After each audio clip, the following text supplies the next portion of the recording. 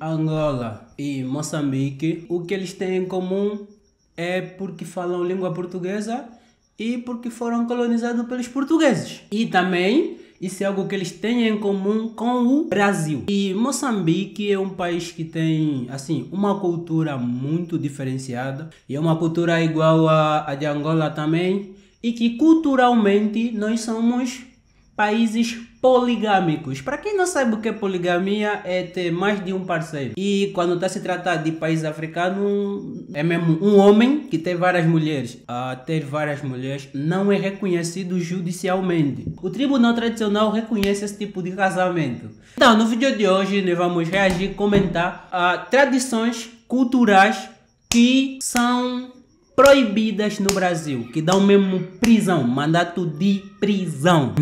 eu nem sei porque que eu tô falando isso com tanto entusiasmo, meu Deus. Eu tô caloria, tô caloria, meu Deus. Salve Claytons! Então, como é que vocês estão? E não, se você não é um Clayton, se inscreva já no canal, torne-se um Clayton e ajude esse canal a atingir a meta de 6 mil inscritos. Tem vídeo todos os dias aqui nesse canal. E não esqueça de deixar o like, não esqueça de comentar qual é a, o nome da, da tua cidade e o nome do teu país. Por quê? Por quê? Porque nós queremos saber até onde esse canal tá chegando. Com apenas 5 reais você é membro desse canal. E agora, muito obrigado a todos os membros já do canal.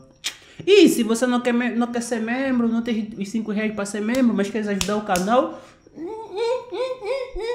é só deixar o joinha. Tá? Sempre deixar comentário nos vídeos. Então vocês sabem como é que é esse canal? Esse canal é o único canal, mas o único canal mesmo do YouTube que é ser mais que que que 3, 2, 1 e play! E aí, pessoal? E aí? No vídeo de hoje eu vou falar aqui de algo que divide opiniões, principalmente nos brasileiros, porque eu já vi comentários de alguns brasileiros em vídeos que falam sobre esse assunto.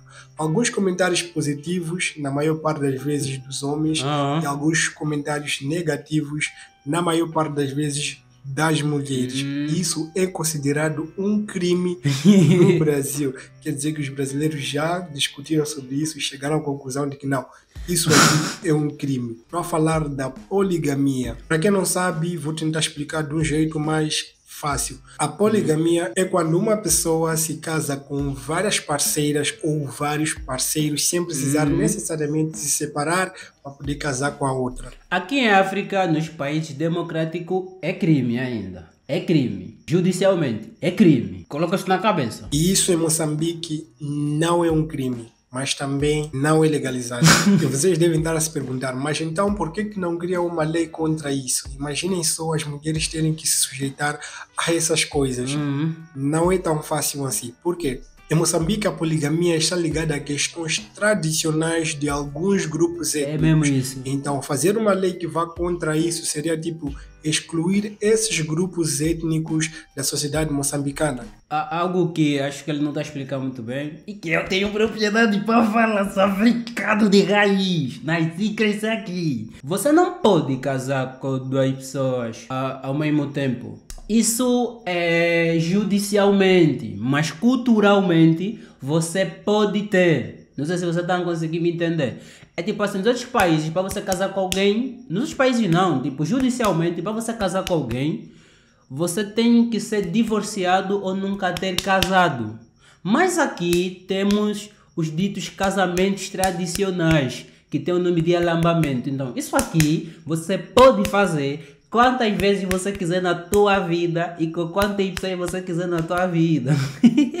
Não sei se, se Moçambique também chamam de, de alambamento, mas aqui tem esse nome. É que é o famoso casamento tradicional. eles também são moçambicanos, então não faria muito sentido excluir certos grupos étnicos. Dentro dessas tradições existem alguns requisitos para que um casamento polígamo seja considerado Ah, válido. é, é isso que nós Uma delas passando. é a distribuição de recursos entre os parceiros. O que, é que isso quer dizer? Oh. Se você for a dar uma casa para uma, você tem que ser capaz de dar uma casa semelhante a todas Yeah, elas. é isso, Se uma é isso, delas é estiver passando fome por causa de uma situação financeira que você está a passar então é porque todas as outras estão a passar pela mesma situação. E outro dos requisitos que eu acho que é o requisito principal é o acordo com a mulher principal, que cá em Moçambique chamamos assim, no, numa língua materna, de Maikuru. Aqui chamam de primeira mulher. Se você vier aqui Angola, vai ser muito comum vocês ouvir a expressão de primeira mulher. Olha, a primeira mulher. e você tem que ter pelo menos bagagem suficiente para você conseguir sustentar todas as mulheres que você tem. Uma tradução direta para o português seria tipo mãe grande. Você tem Yeah, que ter conversado com a tua esposa termo. e ela aceitado isso. Aceitar isso não do jeito obrigatório, né? Ter conversado, chegado a um acordo e ela ter aceitado, tipo, ah, tá bom, sem nenhum problema. E nessa questão, eu já vi até situações em que a própria mulher é quem sugere ao marido para ter uma segunda esposa, uma terceira esposa. Não, mas aqui em Angola, pelo menos, acontece mais quando a, a primeira mulher não consegue dar filhos. Então ela sugere ao marido procurar outra mulher para lhe dar filho. Tem aquela história lá da Bíblia. Ah, essa tradição é tão errada. Mas pronto, né? É o que temos. O que que vamos fazer? É, é isso mesmo, porque não existe um número limite de quantas mulheres você pode ter. E, e outra coisa também, tipo, não necessariamente que a mulher tem que chegar e falar, ah, eu aceito você ter medo de mulher. Ele simplesmente vai, faz um filho com a outra mulher e a outra mulher simplesmente só tem que ficar calada. Algumas ficam só caladas e pausam. Outras não aceitam mesmo, separam. Principalmente aquelas assim que globalizadas, pronto. A- as mulheres assim globalizadas não aceitam isso de jeito nenhum. Querem ser única esposa e acabou. Não tem mais discussão. Já vi histórias de homens que casaram com 17 Nossa! esposas. Imaginem só. De, de 17 Moçambique elevaram o nível. Tipo, a mulher chegou no homem, marido, eu estou cansado, não estou a conseguir dar conta de tudo sozinha. O que que você acha de ter uma segunda esposa? Oh, uma terceira, quarta, quinta, meu Deus. Se sim, sim, se não, não, não é nenhum problema, não há aquela discussão, mas por que, que você está a falar isso? Você já não me quer? Não, não, faz parte da tradição e você tem que aceitar isso de boa. Tipo, falar desse assunto de jeito assim Show. mais claro possível. E também não é só a principal esposa que tem que aceitar, e todas as outras que estarão vindo têm que aceitar isso também. E... Tem que saber que você tem outras esposas e quantas esposas você tem além dela. E atualmente a poligamia é mais visto nas zonas rurais, né? nas zonas bem afastadas das cidades, onde as pessoas estão muito ligadas às tradições africanas, né? às tradições moçambicanas nesse caso. Aqui, aqui, a, a poligamia tá em todos. Meu Deus! É em todo sítio. Não só no interior. Assim, só que no interior é, é algo mais conversado, é algo mais. Tipo assim, aceitável, assim, né? Socialmente. Agora, ah, nas cidades acontece, mas não se de forma esporádica, né? Ninguém chega e fala assim: Eu tenho várias mulheres, eu vou casar com várias mulheres. Não, tipo, é algo que acontece de forma gradual. É tipo, ele foi infiel, né? É- acontece simplesmente assim: ele tá casado, ele foi infiel, né? Com a outra, né? Ele foi infiel e ele teve filho com essa mulher. Então, consequentemente, ele vai ter que ele vai ter que ser apresentado na família da mulher e depois papá, casamento tradicional e pimba, e é algo gradual e fica assim. E parecendo que não, os filhos se dão super bem. Em alguns casos, há casos mesmo que não, que os irmãos não se dão muito bem, principalmente quando não há distribuição de renda de forma equilibrada. Porque acontece muito de às vezes o provedor não conseguir distribuir a renda de forma equitativa. Não sei se estão a conseguir me entender, porque eu estou usando assim termos que. Sabe, esse canal aqui não é só. Oh, real, não, também cultura, tradição, também eh, sabedoria, inteligência. Deixa, deixa, deixa. Vamos pro vídeo.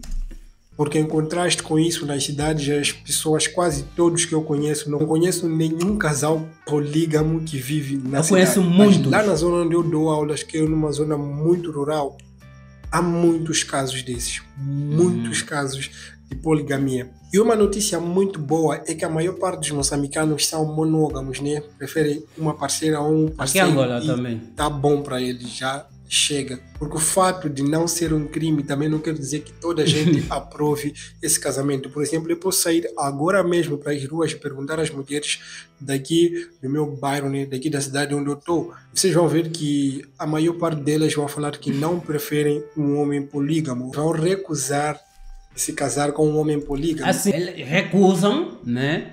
Eles falam abertamente: ah, não, eu, eu não gosto de, de homem polígamo. Mas uma boa parte das mulheres, uma boa parte não, algumas mulheres entram em relacionamentos em que o homem é casado. Elas aceitam de boa, porque ele tem, tem a tábua, como dizem aqui. Sabe, tábua é dinheiro. Sempre que alguém fala ele tem a tábua, está se referindo a dinheiro. Então, as mulheres, algumas, são. Como é que se diz?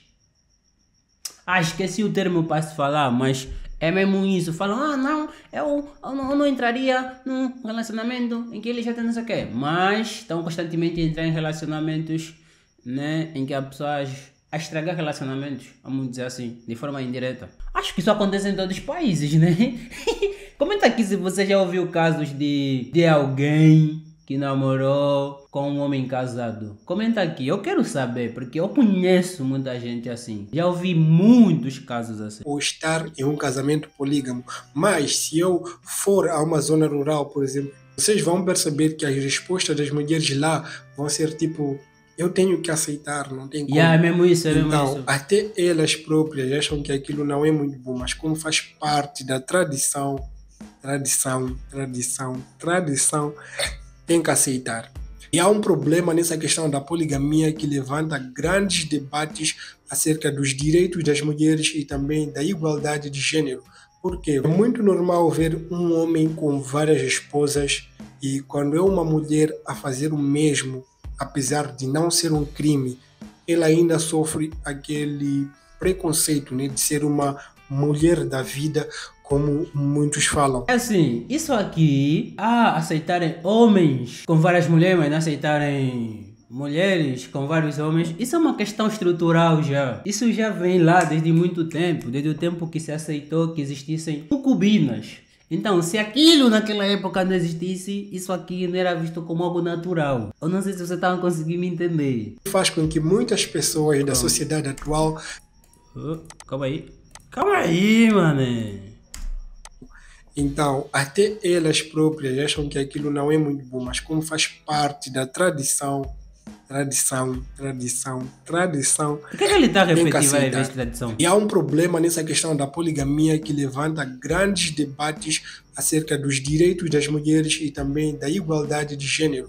Porque é muito normal ver um homem com várias esposas e quando é uma mulher a fazer o mesmo, apesar de não ser um crime, ela ainda sofre aquele preconceito né, de ser uma mulher da vida, como muitos falam, que faz com que muitas pessoas da sociedade atual vejam a poligamia como se fosse algo que vai contra os direitos das mulheres, que vai contra a igualdade de gênero, né? que de alguma forma é verdade, muito verdade. E eu não sei o que, é que vocês acharam desse assunto. Deixem aí a vossa opinião nos comentários. E ah, estamos quase a bater aí. Estamos hum, quase a bater nos 6 mil inscritos. Será que eu ouvi que alguém vai ajudar? Você que está aí do outro lado. Vamos, vamos. Antes desse mês acabar, não me bater 6 mil. Mentira, mentira. Não. Não sei, eu me sinto muito mal falar sobre essas coisas, mas pronto, esse é, esse é o game, eu tenho que falar. Sobre esse assunto, eu já falei, né, durante as minhas interrupções. Se você tem visto com frequência casais poligâmicos, comenta aqui. E o que é que você acha sobre a poligamia? Comenta aqui. O que é que você prefere, ser poligâmico ou monogâmico? Eu, eu prefiro monogamia, porque eu me sinto melhor assim. Eu quero ter apenas uma parceira, casar com apenas uma pessoa e acabou. E quando terminar, eu me fechar no meu quarto, chorar e pensar que não vai existir mais o amanhã porque essa pessoa se foi.